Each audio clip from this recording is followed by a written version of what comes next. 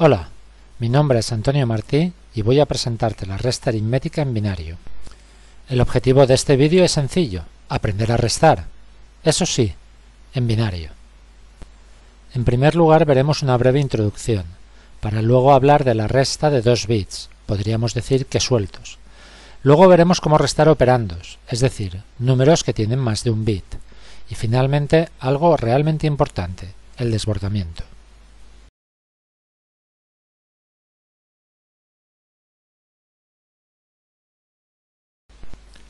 La resta en binario se hace igual que en decimal.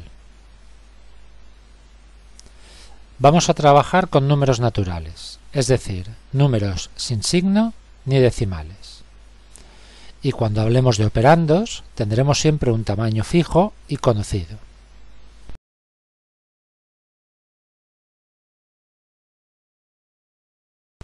Al restar dos dígitos obtenemos, por un lado, un dígito de resta, que suele llamarse diferencia, y por otro lado un dígito de acarreo, también llamado préstamo y muy conocido como y debo una. Como vamos a trabajar en binario, estos dígitos son siempre bits, es decir, tendrán valor 1 o valor 0. Vamos a construir la tabla para ver la resta y el acarreo para todas las posibles combinaciones. Por favor, repite conmigo.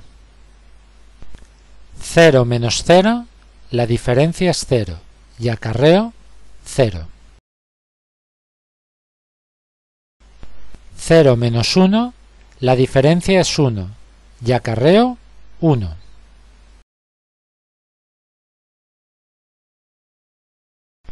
Uno menos 0, la diferencia es 1 y acarreo 0.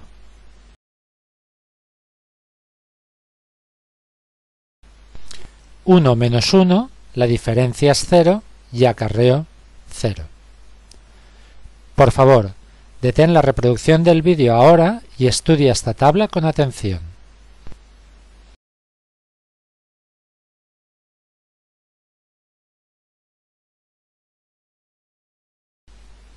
Ahora vamos a ver cómo se restan dos números, u operandos, con varios bits cada uno de ellos. Esta resta se hace igual que en decimal, por etapas, empezando por la derecha y hacia la izquierda. En cada etapa se restan tres bits, uno de cada operando, y al resultado de esta resta se le resta el acarreo de la etapa anterior. La resta de tres bits es muy sencilla, pero vamos a ver unos ejemplos que nos servirán de ayuda. Vamos a restar 0 menos 1 menos 1. Como la resta no cumple la propiedad conmutativa, hay que hacer esta resta en orden y por pasos. En primer lugar, hacemos 0 menos 1, que da como resultado 1 y acarreo 1, es decir, debo 1. A continuación, al resultado de la resta anterior le restamos el último operando, es decir, hacemos 1 menos 1. El resultado es 0 y el acarreo es también 0.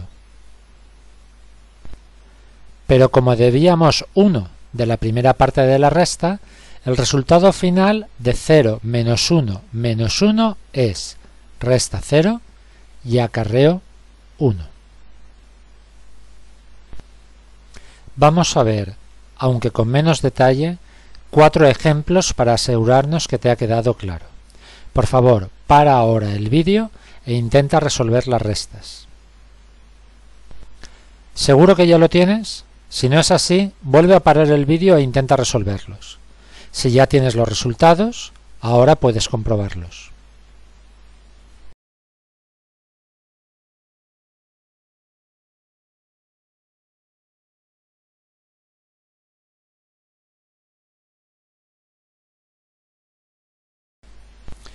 Bien, vamos a ver un ejemplo con operandos de 4 bits.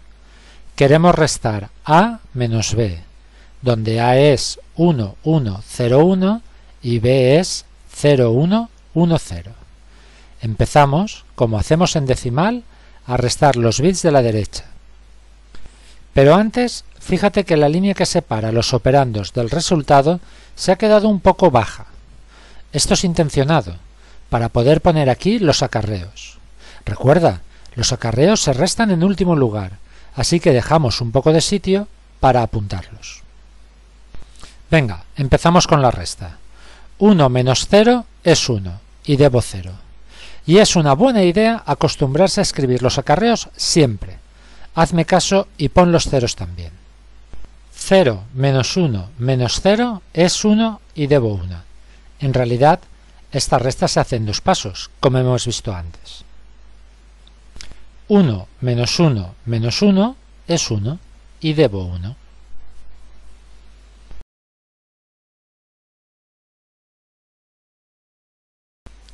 1 menos 0 menos 1 es 0 y debo 0. Y como se han acabado los bits de los operandos, hemos terminado la resta. Como te he dicho antes, es importante apuntar todos los acarreos, incluso los que son 0. También quiero que te fijes que el resultado tiene los mismos bits que los operandos. Esto es siempre así debido a los circuitos digitales que realizan las restas. Por cierto, Fíjate que hemos restado 13 menos 6 y nos ha dado 7, como era de esperar. En algunos casos, el resultado de la resta no es representable.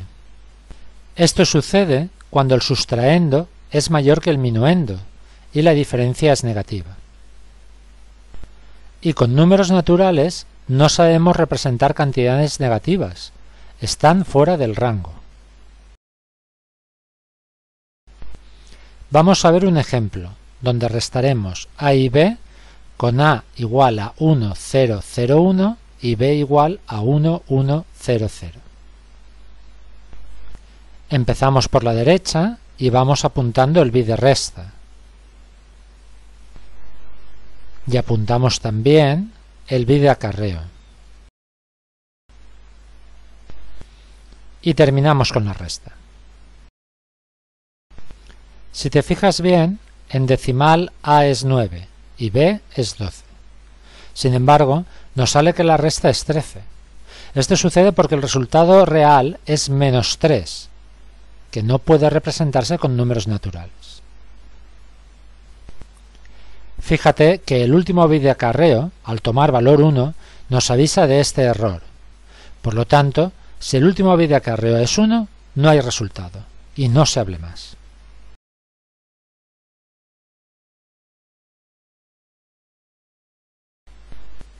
En este vídeo has visto la resta aritmética para números naturales representados en binario. Lo más importante que debes recordar es que esta resta se realiza igual que la que hacemos en base 10, en decimal. Y también debes recordar que es muy importante comprobar si el resultado es correcto o si se ha producido desbordamiento, verificando el valor del último bit de acarreo.